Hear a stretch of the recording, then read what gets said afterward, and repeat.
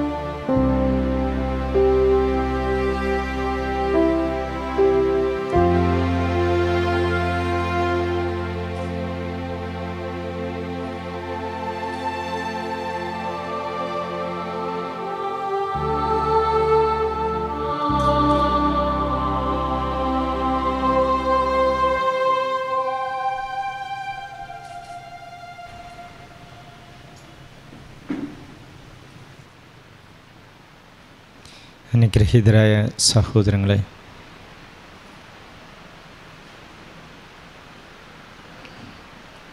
കൃപാസനത്തിന്റെ ശുശ്രൂഷ പരിശുദ്ധ കുർബാനയുടെ ആരാധനയിലേക്ക് നമ്മെ സവിശേഷം ക്ഷണിക്കുന്ന പുതിയ സംരംഭത്തിന് ഇന്ന് ഇവിടെ തുടക്കം കുറിക്കുന്നതിന് ദൈവത്തിന് നന്ദി പ്രകാശിപ്പിക്കാം.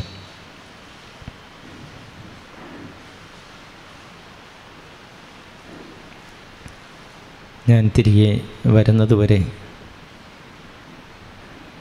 ഈ നാണയം കൊണ്ട് നീ വ്യാപാരം നടത്തണമെന്ന് ഒരു യജമാനൻ തലന്തുകളെ ഏൽപ്പിച്ചിട്ട്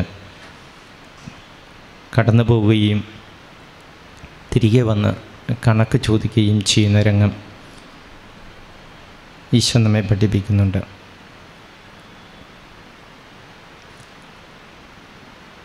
അങ്ങനെ കർത്താവ് തന്റെ പീഡാനുഭവത്തിന്റെയും മരണത്തിന്റെയും ഉത്ഥാനത്തിന്റെയും സ്മാരകമായ ഈ ദിവ്യനാണയം പരിശുദ്ധ കുർബാന സഭയെ ഭരമേൽപ്പിച്ചിരിക്കുകയാണ്. ഇതാ ദൈവത്തിന്റെ കൂടാരം. മനുഷ്യരോടുകൂടെ എന്ന് വാഗ്ദാനം പൂർത്തീകരിച്ചുകൊണ്ട് തന്റെ പീഡാനുഭവത്തിന്റെ ഏറ്റവും ശ്രേഷ്ഠമായ പെസക രഹസ്യത്തിന്റെ ഏറ്റവും ശ്രേഷ്ഠമായ ഈ നാണയം ദിവ്യകാരുണ്യം നമ്മെ ഭരമേൽപ്പിച്ചിരിക്കുകയാണ്. ആരാധിക്കുവാൻ ആസ്വദിക്കുവാൻ പങ്കുചേരുവാൻ പരിവർത്തനം പ്രാപിക്കുവാനായിട്ട് ഈ ദിവ്യകാരുണ്യം നമ്മെ നിരന്തരം ക്ഷണിക്കുന്നു. നാം എന്തായിരിക്കുന്നുവെന്ന് നമുക്കിപ്പോൾ വ്യക്തമാണ്. നാം ദൈവത്തിന്റെ മക്കളാണ്. എന്നാലും നാം എന്തായി തീരുമെന്ന് അവിടുന്ന് പ്രത്യക്ഷപ്പെടുമ്പോൾ മാത്രമേ നമുക്ക് മനസ്സിലാകുകയുള്ളൂ. നാം അവിടത്തെ പോലെ ആയിത്തീരും.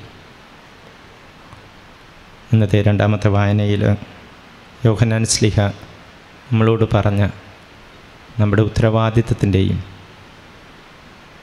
ഒപ്പം നമ്മുടെ പ്രതീക്ഷയുടെയും ഈ ദൗത്യത്തെ നമുക്ക് ഹൃദയത്തിൽ ഓർക്കാം.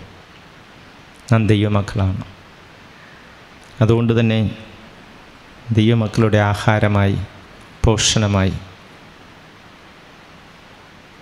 അവരെ ചലിപ്പിക്കുന്ന ഊർജമായി ദൈവം ഈ ദീപകാരുണ്യം തന്റെ പ്രിയപുത്രന്റെ പെസഹ രഹസ്യത്തിന്റെ ശാശ്വത സ്മരണ നമുക്ക് നൽകിയിരിക്കുകയാണ്. പരിശുദ്ധ കുർബാനയിലൂടെ അവിടെ നമ്മെ പരിപോഷിപ്പിക്കുന്നു. ഈ പോഷണം ഇതിന്റെ ആരോഗ്യത്തിൽ വളർന്ന് നാം എന്തായിരിക്കും ഭാവിയിലെന്നത് അവിടുത്തെ പോലെ ആകുവാൻ അവിടുത്തെ പ്രിയപുത്രനെ പോലെ രൂപാന്തരപ്പെടുവാനായിട്ട് നമ്മെ പര്യാപ്തമാക്കുന്നു. ഇത് ശ്രേഷ്ഠമായ അമൂല്യമായ വ്യവഹാരം നടത്തേണ്ട നാണയമാണ്. ഇതിന്റെ ചൈതന്യം ഉൾക്കൊണ്ട് ജീവിച്ച് ഇതായി രൂപാന്തരപ്പെട്ട് നാം ദൈവത്തിന്റെ സന്നിധിയിലെത്തി നിൽക്കണമെന്നതാണ് അവിടുത്തെ രക്ഷാകരമായ പദ്ധതി. ദിവികാരണത്തെ ആരാധിക്കുമ്പോൾ നാം ദൈവത്തെ കണ്ടുമുട്ടുന്നു. വിശുദ്ധന്മാരുടെ ആനന്ദമാണിത്.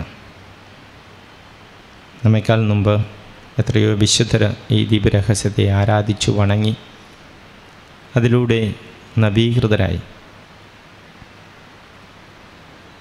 വിശുദ്ധ തോമസ് അക്യുനാസിനെ പോലെ സഭയിലെ അത്യുന്നത പണ്ഡിതരും അതുപോലെ തന്നെ വിശുദ്ധരുമായ വ്യക്തികളൊക്കെ ദീപികാരുണ്യ സന്നിധിയിൽ നടത്തിയിട്ടുള്ള ധ്യാനം നമ്മുടെ വിശ്വാസത്തിന്റെ മുതൽക്കൂട്ടാണ്.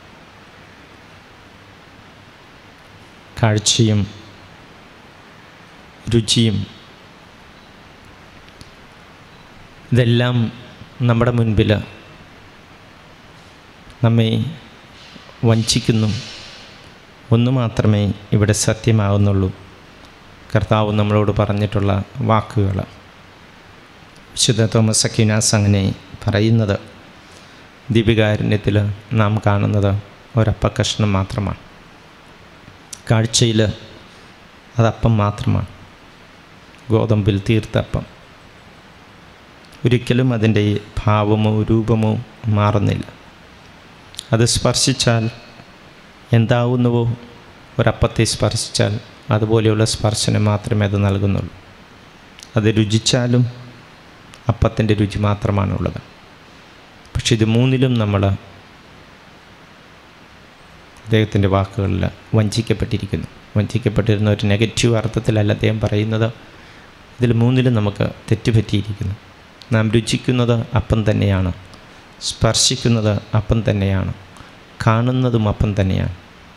പക്ഷേ കാണാത്തതാണ് അതിന്റെ യാഥാർത്ഥ്യം. ഇവിടെ ദൈവകുമാരൻ സന്നിഹിതനായിരിക്കും അവിടുത്തെ തിരുശരീരമാണിത്. നാം അനുഭവിക്കുന്നത് അവിടുത്തെ ഊർജവുമായ പരിശുദ്ധാത്മാവുമാണ്. അതുകൊണ്ടാണ് കാഴ്ചയ്ക്കും സ്പർശനത്തിനും രുചിക്കും അത് നമ്മെ കബളിപ്പിക്കുമ്പോഴും കർത്താവിന്റെ വാക്കുകൾ ലോകത്തിലേക്ക് ഇറങ്ങി വന്ന് ജീവൻ നൽകുന്ന മന്ന ഞാനാകുന്നുള്ള വാക്കുകൾ ആ വാക്കുകളിൽ വിശ്വസിക്കാൻ നമുക്ക് സാധിക്കുന്നതും അത് നമ്മൾ ദീപികാരുണ്യത്തിൽ ദർശിക്കുന്നതും.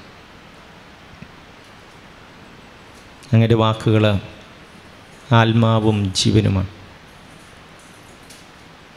ഈശ്വര വാക്കുകളിൽ വിശ്വസിച്ചുകൊണ്ട് ദീപികാരുണ്യം നൽകുന്ന ആത്മാവും ജീവനും ഉൾക്കൊണ്ട് നാം നിരന്തരം ദൈവമക്കളായി രൂപാന്തരപ്പെട്ട് ദൈവകുമാരന്റെ ഉടലായിട്ട് ശരീരമായിട്ട് രൂപാന്തരപ്പെട്ട കുഞ്ഞാടിനോടൊപ്പമുള്ള ദിവ്യവിരുന്നിലേക്ക് നമ്മൾ പ്രവേശിക്കുന്നു. എന്നും പരിശുദ്ധ കുർബാനയിൽ നാം കേൾക്കുന്ന ക്ഷണം അതാണല്ലോ. കുഞ്ഞാടിന്റെ വിരുന്നിന് ക്ഷണിക്കപ്പെട്ടവർ അനുഗ്രഹീതരാകുന്നു ഇത് കുഞ്ഞാടിന്റെ ദിവ്യ വിരുന്നാണ്. വിവാഹ വിരുന്നാണ്. കുഞ്ഞാടിന്റെ വധുവായി രൂപാന്തരപ്പെട്ടുകൊണ്ടിരിക്കുന്ന മനുഷ്യ സമൂഹം സഭയുടെ നിരന്തര പോഷണമാണ്. അതുകൊണ്ട് തന്നെ ഈ ദിവ്യരഹസ്യത്തെ ആരാധനയിലൂടെ മാത്രമേ നമുക്ക് മനസ്സിലാകുകയുള്ളൂ. സമർപ്പണത്തിലൂടെ മാത്രമേ ഇതിലേക്ക് പ്രവേശിക്കുവാനാകുകയുള്ളൂ. അത് നൽകുന്ന പരിവർത്തനത്തിലൂടെ മാത്രമേ ഇത് നൽകുന്ന സായുജ്യം അനുഭവിക്കുവാനും നമുക്കാകുകയുള്ളൂ.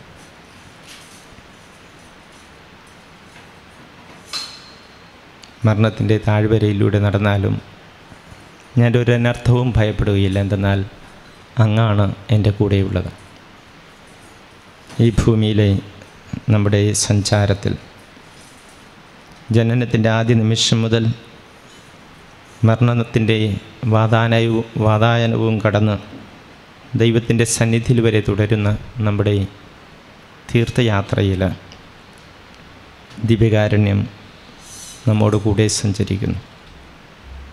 നമ്മുടെ ഭവനങ്ങളിൽ നമ്മുടെ ജോലി സ്ഥലത്ത് നാം യാത്ര ചെയ്യുമ്പോൾ നാം വ്യാപാരങ്ങളിൽ ഏർപ്പെടുമ്പോൾ നാം വിശ്രമിക്കുമ്പോൾ നമ്മുടെ ഉല്ലാസങ്ങളിലെല്ലാം കർത്താവ് നമ്മോടുകൂടെയുണ്ട്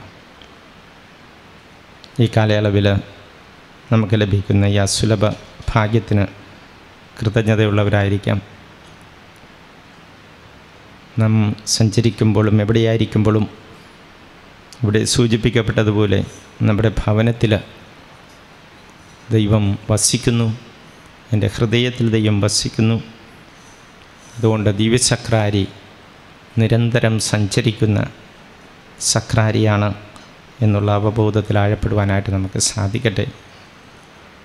അനേകം ഹൃദയങ്ങൾക്ക് കർത്താവിന്റെ സമാശ്വാസം ഇതുവഴി ലഭ്യമാകട്ടെ എന്ന് പ്രാർത്ഥിക്കുന്നു. നമുക്ക് കർത്താവിന്റെ സന്നിധിയിൽ ആരാധനയുടെ നിമിഷങ്ങൾ തുടരാം.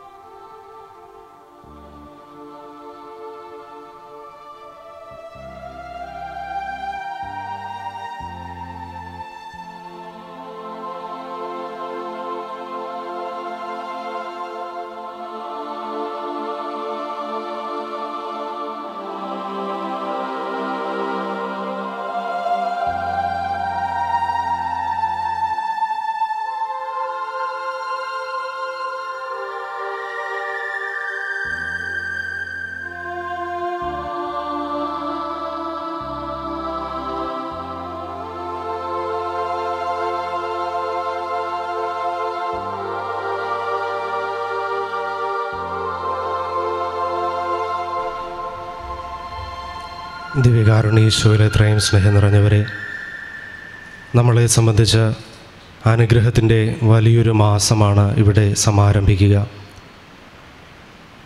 കൃപാസനമൾത്താരയിൽ ദിവസവും ദിവ്യകാരുണ്യയുടെ മുൻ ദിവ്യകാരുണ്യീശോയുടെ മുമ്പിൽ പ്രാർത്ഥനാ നിരതരാകുവാനുള്ള വലിയ ഒരു അവസരം. ഇന്നേ ദിനം കൃപാസനത്തിലേക്ക് കടന്നു വന്ന്